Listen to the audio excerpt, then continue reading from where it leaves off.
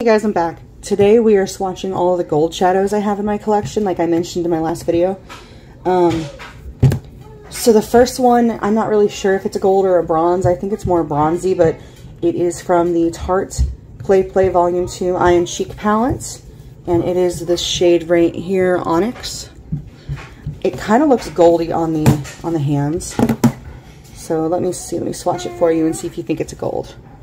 Would you call that a gold or is that more bronzy? I don't know.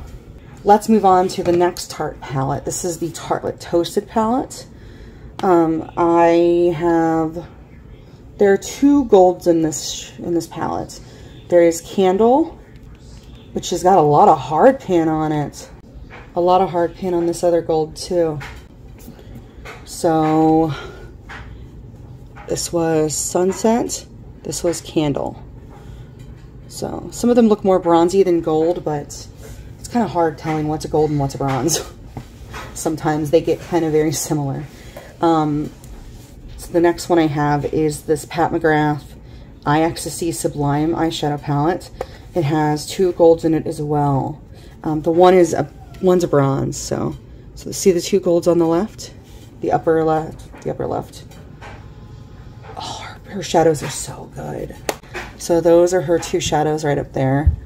So those are all my golds so far. Very lovely.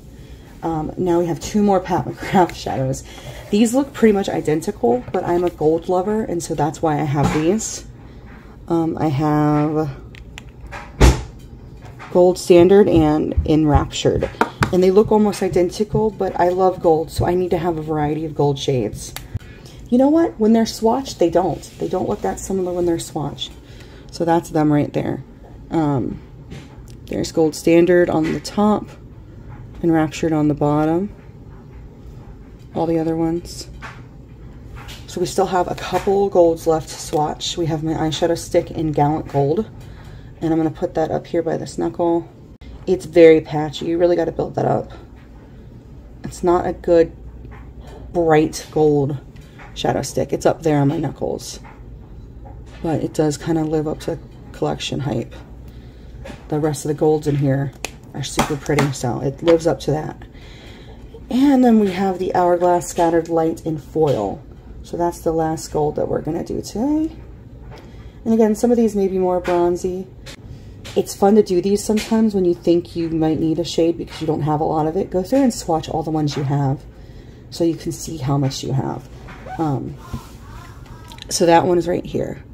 So that's all the golds I have in my collection. Um, goldy. Some of them are kind of bronzy. Um, super pretty. Let me try to swatch a actual bronze next to these other ones and see if they're more bronzy or goldy. Um, so this one is probably more of a bronze. This is Sextrovert from Pat McGrath. I'm going to swatch it right up here. I feel like you can tell that that is, it's the one at the top. I feel like that looks more bronzy. Yeah, some of these are more bronzy than goldy, but you get the idea. I have enough variety of gold in my collection that I do not need to purchase anymore. So that scratched that itch. I was wanting more gold eyeshadows, but I have plenty. So I don't know if I have a favorite. I think they're all really beautiful. I don't remember what this one was, but it's screaming out to me. Um, what is that? Think that's from the Tartlet palette. Maybe? I don't remember. Anyway, there's all my golds. Super pretty. See you guys next time, guys. I hope this was fun for you as it was for me. It was very fun for me. Bye.